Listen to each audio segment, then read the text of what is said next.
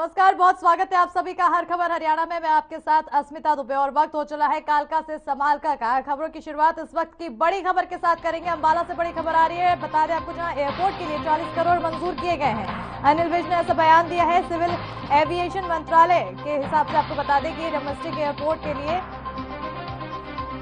बड़ी जानकारी अंबाला से दे रहे हैं आपको, जहाँ पर अंबाला में डोमेस्टिक एयरपोर्ट पर गृह मंत्री बोले हैं और उन्होंने कहा है कि एयरपोर्ट के लिए 40 करोड़ मंजूर किए गए हैं। सिविल एविएशन मंत्रालय ने मंजूर की राशि और डोमेस्टिक एयरपोर्ट के लिए बनेगा नया टर्मिनल बड़ी जानकारी अंबाला से दे रहे हैं, जहाँ पर डोमेस्टिक एयरपोर्ट पर गृह मंत्री ने बयान दिया है। उन्होंने कहा है कि एयरपोर्ट के लिए 40 करोड़ मंजूर किए गए हैं। सिविल एविएशन मंत्रालय ने ये राशि मंजूर की है। डोमेस्टिक एयरपोर्ट के लिए नया टर्मिनल बनेगा। अम्बाला एयरफोर्स स्टेशन आपको बता दें, इस पर गृह मंत्री अनिल विज ने बयान दिया है, जहाँ 40 करोड़ रुपए एयरपोर्ट के लिए मंजूर किए गए हैं और सिविल एविएशन मंत्रालय ने इसकी मंजूरी राशि भी दी है।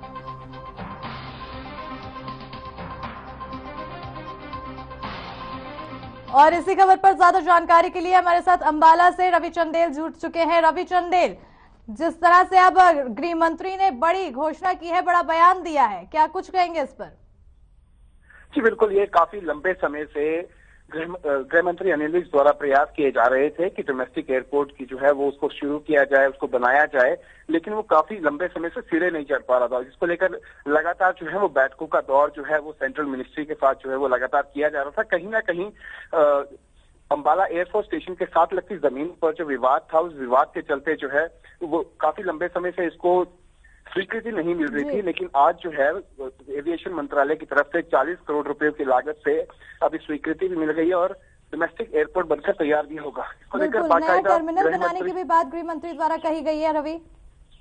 जी बिल्कुल। इसके साथ जो नया टर्मिनल बनाया जाएगा रनवे भी बनाया जाएगा वो साथ लगती ज़मीन जो एयरपोर्ट स्टेशन की है वहाँ पे बनाया जाएगा ताकि जो पैसेंजर्स हैं उनका ज़्यादा जो आवागमन है वो एयरफोर्स स्टेशन की तरफ़ थोड़ा कम हो जिसके साथ लगती ज़मीन पर जो है वो एक नया टर्मिनल बनाया जाएगा जिसको लेकर बाकायदा गृह मंत्री जो है वो रक्षा मंत्री राजनाथ सिंह जी से मिले भी थे बार बार आग्रह भी किया था। उसके बाद अब जाकर जो है एविएशन मंत्रालय की तरफ़ से ये स्वीकृति मिली है। बिल्कुल। क्या क्या सुविधा लोगों को मिलेगी इसके बाद? अब जब नया एयरपोर्ट के लिए जो मंजूरी मिल चुकी है इससे क्या क्या लोगों को सुविधा मिलेगी?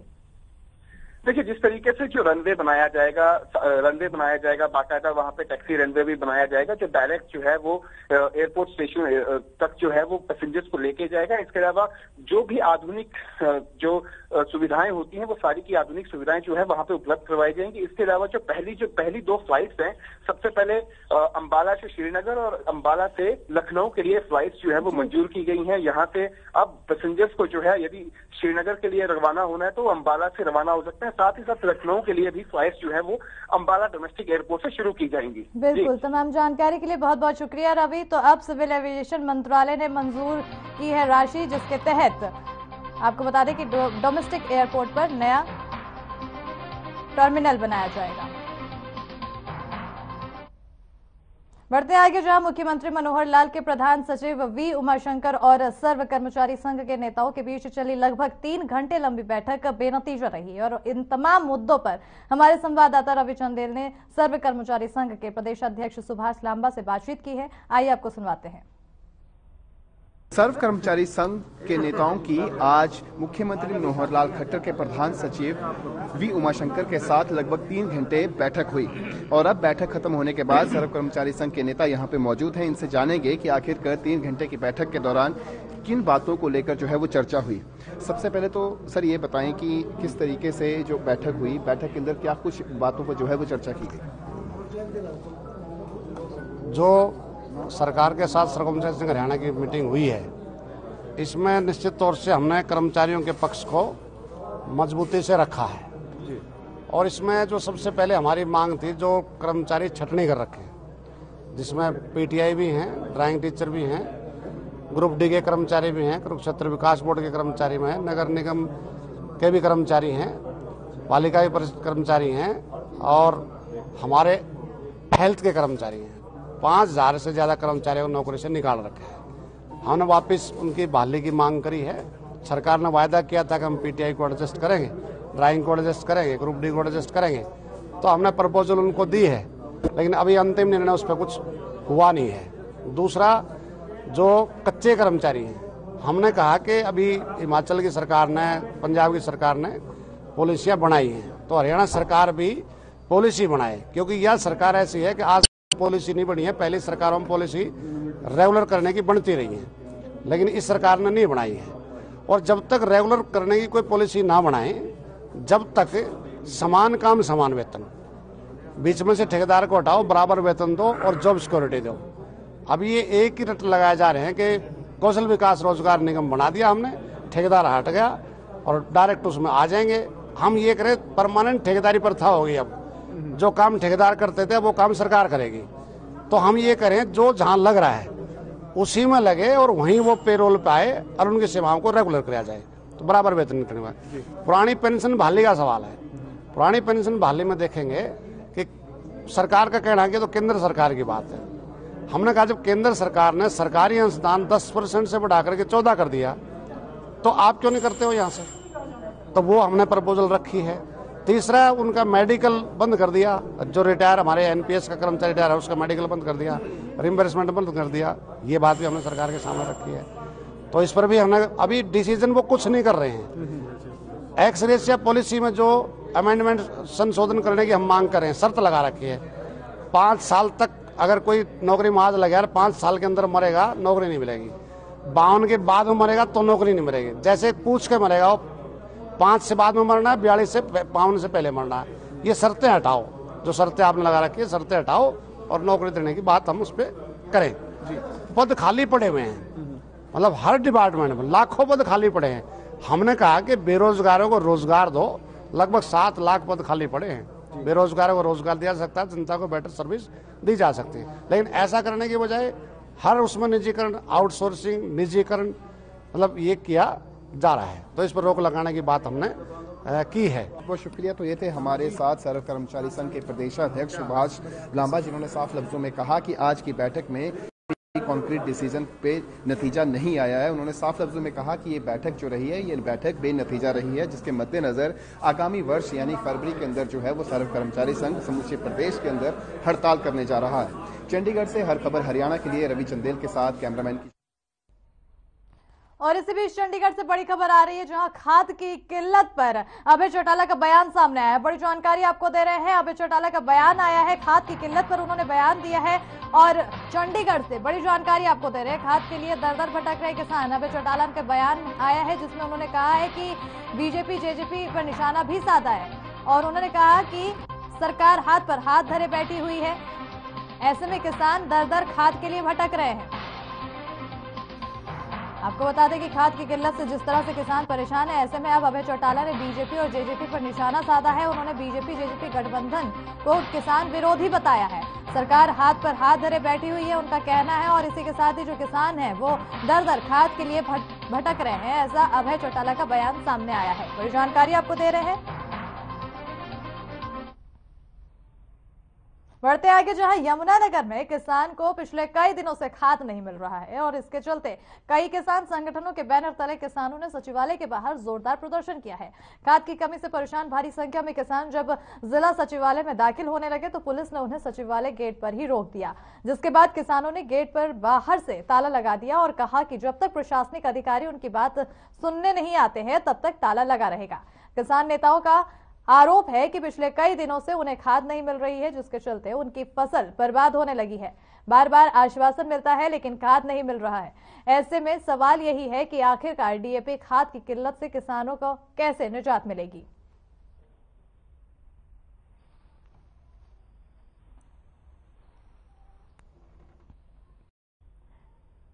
तो तस्वीरें आपको दिखा रहे हैं जहाँ किसानों द्वारा लगातार प्रदर्शन किया जा रहा है विरोध किया जा रहा है क्योंकि उन्हें खाद नहीं मिल पा रहा है।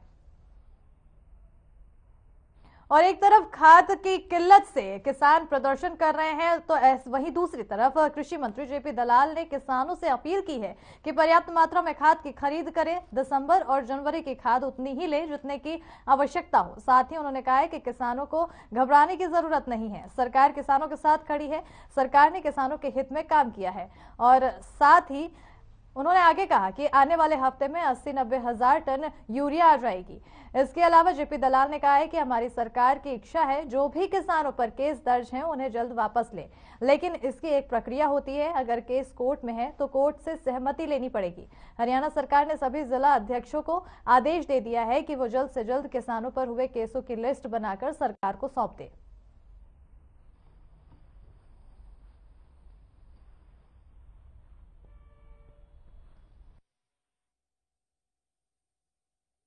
यूरिया की खपत है। जो यूरिया की खपत हुई थी हमारे यहाँ, पाँच लाख छिहत्तर हज़ार मीट्रिक टन की हुई थी। और कल तक हमने छह लाख ग्यारह हज़ार मीट्रिक टन यूरिया दुकानों पे उपलब्ध करा रखी है, जिसमें से लगभग पाँच लाख छप्पन हज़ार मीट्रिक टन यूरिया बिकी है। और आने वाले हफ़्ते के अंदर हमारे पास लगभग अस्सी नब्बे हज़ार मीट्रिक टन यूरिया और आ जाएगी। हमारी जो भी ज़रूरतें हैं यूरिया की, वो भारत सरकार हमें दे रही है।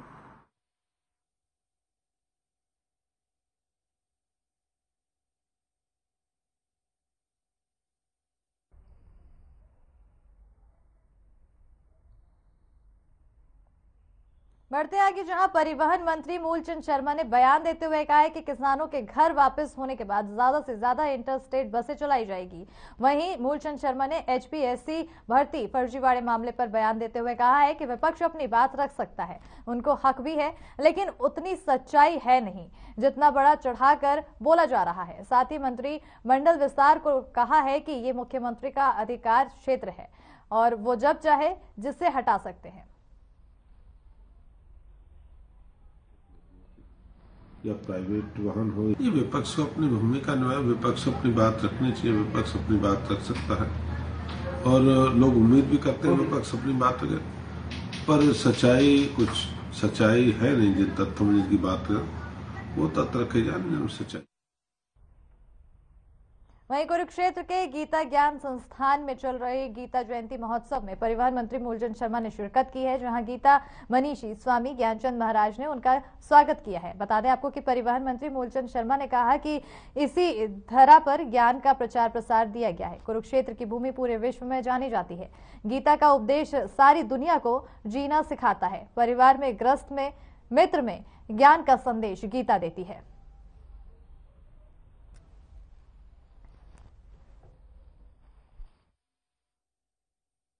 युद्ध अपने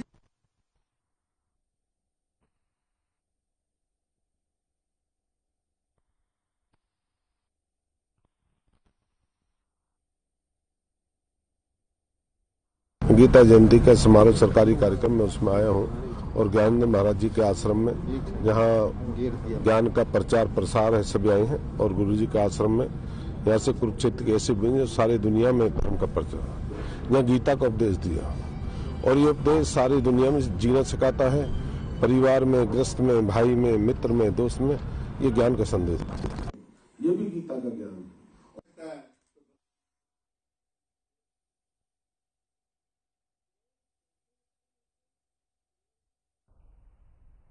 कुरुक्षेत्र में चल रहे अंतर्राष्ट्रीय गीता महोत्सव में राज्यपाल बंडारू दत्तात्रेय, केंद्रीय संस्कृति एवं पर्यटन मंत्री जी किशन रेड्डी, गीता मनीषी स्वामी ज्ञानचंद ने वैश्विक गीता पाठ का शुभारंभ किया और इस दौरान कुरुक्षेत्र ब्रह्म सरोवर पर पंद्रह स्कूलों के एक हज़ार एक सौ पचपन स्कूली छात्रों ने गीता श्लोकों का उच्चारण किया है। इस मौके पर महोत्सव में अनूठा रिकॉर्ड बना, जो प्रदेश भर के पच्चीस स्कूलों के पचपन छात्र ऑनलाइन जुड़े।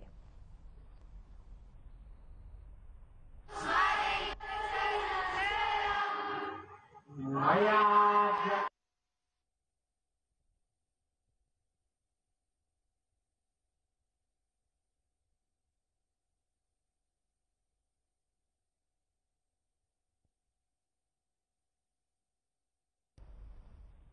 अंबाला से है, जहाँ तीन दिवसीय गीता जयंती महोत्सव का समापन हो गया है और जहाँ इस मौके पर अंबाला की कमिश्नर रेणु फूलिया ने मुख्य अतिथि के रूप में शिरकत की।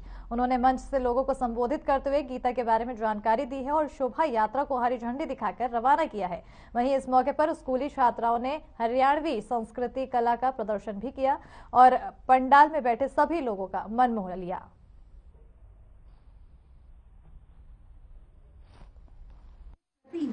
माननीय श्री दलबीर सिंह पूनी गीता का तो नाम ही बहुत बड़ा है और जो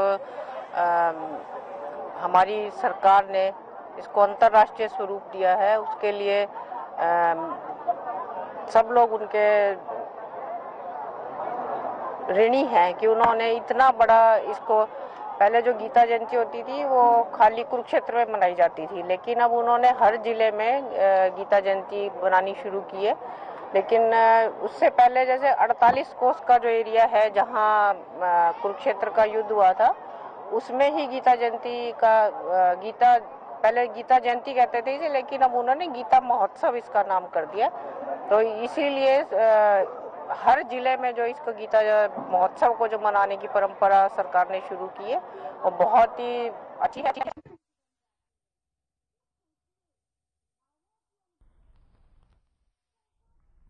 बढ़ते हैं आगे जहाँ यमुनानगर में नंबरदारों ने जिला सचिवालय पर प्रदर्शन किया है और सरकार से नंबरदारों की नियुक्ति पर प्रतिबंध लगाने वाले आदेश को वापस लेने की मांग की है।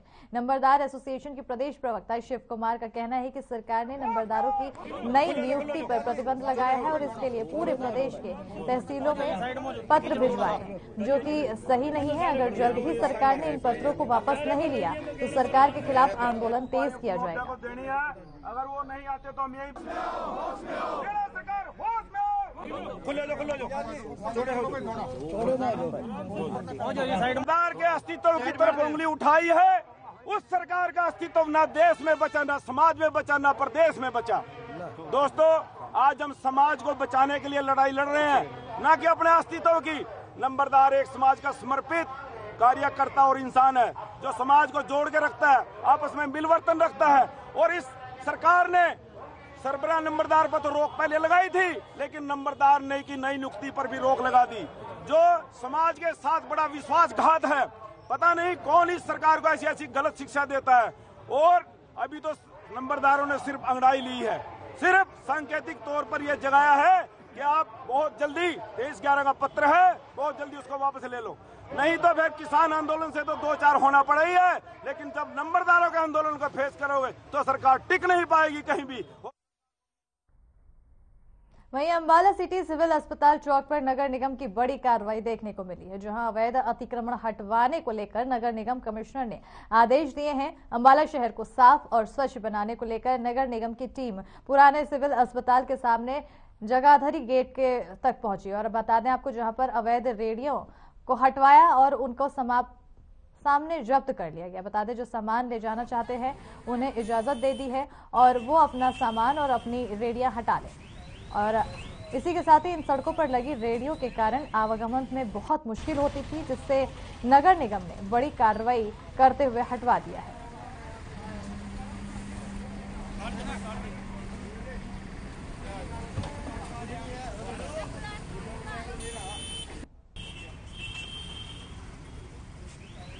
जिस तरह से आयुक्त महोदय ने निर्देश दिए हैं कि सारे शहर को साफ़ सुथरा रखना है और इन्फोर्समेंट हटानी है। इसी तरीके से हमारे सिविल हॉस्पिटल के सामने देखा कि रोड के ऊपर काफ़ी रेडियाँ लगी हुई हैं, जिसके कारण आवाजावन में काफ़ी दिक्कत आ रही है।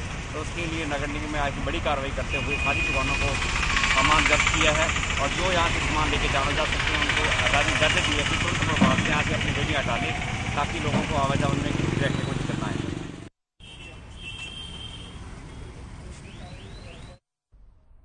और अब खबर करनाल से है, जहाँ नशे में धुत सब इंस्पेक्टर की गाड़ी से दो एक्सीडेंट होने का मामला सामने आया है।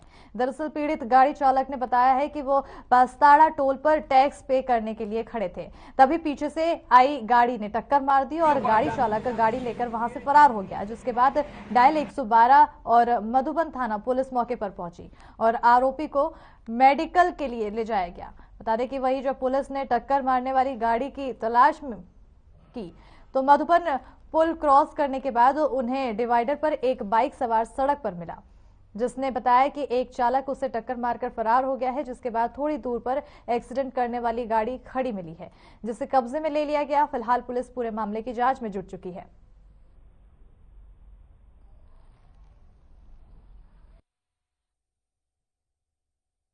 टोल प्लाजा पे खड़े थे बत्ताड़ा पे इसने पीछे से आके गाड़ी ठोकी। हमने टोल प्लाजा वालों को बोला, भाई, गाड़ी साइड में लगवा तो इसने गाड़ी लेके वहाँ भगा दिया टोल प्लाजा वाला गाड़ी लेके भाग गया। जैसे मोधुबन खत्म होते इसने एक बाइक वाले को टक्कर मारी, लड़के को। उसको लेके हमने अमृतधार में लेके जा रहे गाड़ी हमें और अब खबर करनाल से, जहाँ आपको बता दें कि सड़क के बीच खड़ी ट्रैक्टर ट्रॉली में कैंटर ने टक्कर मार दी और हादसे में ट्रैक्टर ट्रॉली चालक की मौत हो गई है। वहीं कैंटर चालक के साथ दो गंभीर रूप से घायल हो गए हैं। बता दें कि ट्रैक्टर ट्रॉली करनाल से असंध की तरफ़ जा रही थी और तभी एक टैंकर ने ट्रॉली को पीछे से हटाकर मार, टक्कर मार दी। बता दें कि कैंटर चालक सोनीपत का रहने वाला बताया जा रहा था, जो कि पुलिस ने बताया है कि सड़क हादसे की सूचना मिली थी। वहीं मौके पर कैंटर ने देशी शराब भरी मिली है और अभी तक एक के मरने की सूचना मिली है। दो गंभीर घायल भी बताए जा रहे हैं। शराब किसकी है, कहाँ से कहा जा रही है, इसकी जाँच पर अभी पता किया जाएगा। वहीं शिकायत के आधार पर आगे की कार्रवाई अमल में लाई जाएगी।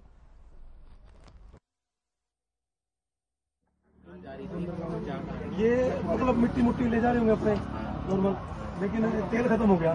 मोटरसाइकिल लेके तेल ले आए तीन बार। तो मुख्य भाई तो पब्लिक ने बताया भी ट्रैक्टर का तेल खत्म हो चुका था उसमें तेल डाल रहे थे। छह कंट्रा गया उसमें लग गया। तो जो इंजर्ड है उसको कनाल भेज दिया गया कितने लोगों की मौत हुई है कितने घायल हुए हैं? फ़िलहाल तो एक की कह सकते हैं मौत हुई है लेकिन बाकी तो इंजर्ड ही है। कनाल ए, दो इंजर्ड है इसमें। वहीं कुरुक्षेत्र के सेक्टर तेरह की मार्केट में पंजाब नेशनल बैंक में शॉर्ट सर्किट की वजह से आग लग गई है। बताया जा रहा है कि बैंक में सुबह के वक्त शॉर्ट सर्किट की वजह से आग लग गई और बैंक के अंदर का पूरा सामान जलकर राख हो गया है। पंजाब नेशनल बैंक की मैनेजर माधवी का कहना है कि बैंक के अंदर का फर्नीचर का सामान पूरी तरह से जलकर राख हो चुका है, लेकिन बैंक के डॉक्यूमेंट सब ठीक है। फ़िलहाल आग लगने के कारणों की जाँच की जा रही है।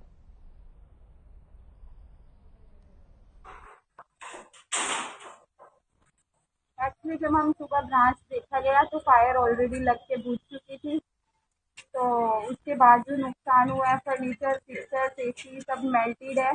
तो एक्चुअली बुलाया हुआ इलेक्ट्रिशियन और सबको सब लोग नजायरा ले रहे हैं कि क्या हुआ है मैम आपके कैश हो गए कुछ जो से ज़रूरी डॉक्यूमेंट्स होते हैं? सेफ़ है। कैश सेफ़ है वहाँ कोई आज तक कोई चिंता भी नहीं था।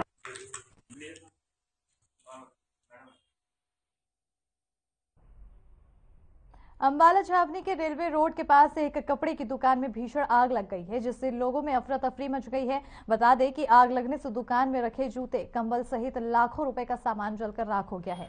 सूचना मिलते ही फायर ब्रिगेड मौके पर पहुँची और फायर ब्रिगेड की दो गाड़ियाँ आग बुझाने में जुटी हैं। वहीं आग लगने का कारण फ़िलहाल शॉर्ट सर्किट बताया जा रहा है और कैंट सदर थाना एसएचओ नरेश भी मौके पर पहुँचे हैं और इनका कहना है कि खैरियत रही है कि किसी जान माल का नुकसान नहीं हुआ है।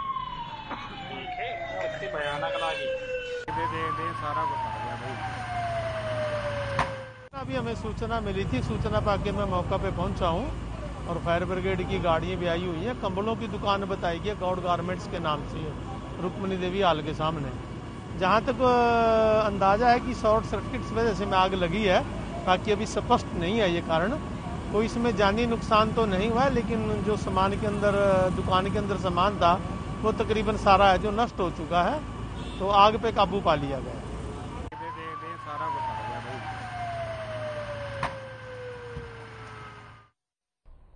खबर यमुनानगर से, जहाँ सिविल अस्पताल जगाधरी की आईटी हैक करके जाली जन्म प्रमाण पत्र बनाने का मामला सामने आया है, जिसमें सीएमओ के civil surgeon doctor Vijay Dahiya ने बताया है कि उसको एक जाली जन्म प्रमाण पत्र मिला है। फ़िलहाल पुलिस ने जाँच शुरू कर दी है, साथ ही मामले को साइबर क्राइम में दर्ज कराया गया है और पुलिस थाना छप्पर के प्रभारी राय सिंह ने कहा है कि इस मामले में गहराई से जाँच की जाएगी और जो लोग इसमें दोषी पाए जाएँगे, उनके खिलाफ सख्त कार्रवाई की जाएगी।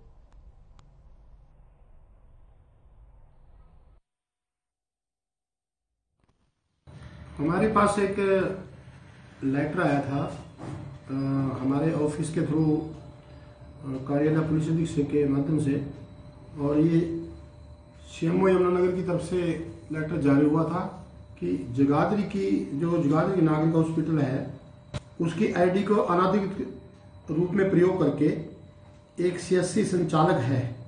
उसने मनदीप सिंह वासी बम्बोली है उसने एक अमित कुमार पुत्र गुरबचन लाल, गंगा कलोनी जगाधरी का रहने वाला, उसका जन्म प्रमाण पत्र जारी किया है। उसने एक साइबर क्राइम के तहत जगाधरी सरकारी अस्पताल का आईडी को हैक करके, और उसने ऐसा रूटीन हमने जाँच करते हैं, क्योंकि इसकी फ़ाइल डाउनलोड हो जाती है। कि भाई पिछले महीने में हमने कितने यहाँ से बर्थ सर्टिफिकेट इशू हुए हैं। तो उसमें एक आधार, जो बर्थ सर्टिफिकेट इशू हुआ था, वो चौदह तीन उन्नीस की डेट में डेट ऑफ़ बर्थ दिखा रखी थी और उसको जगाधरी में रजिस्टर्ड दिखा रखा था। जबकि 92 में जगाधरी की बजाय म्यूनिसिपल कमेटी में नाम दर्ज होते थे। तो उससे हमारा जो ऑपरेटर है, उसको थोड़ा शक हुआ। फिर उसने इसका सीरियल नंबर जब देखा तो सीरियल नंबर भी हमारे नंबर से मैच नहीं खाता था। तो इस व्यक्ति को, इसका, इससे प्रतीत हुआ कि ये जो बर्थ सर्टिफिकेट है, ये बोगस तरीके से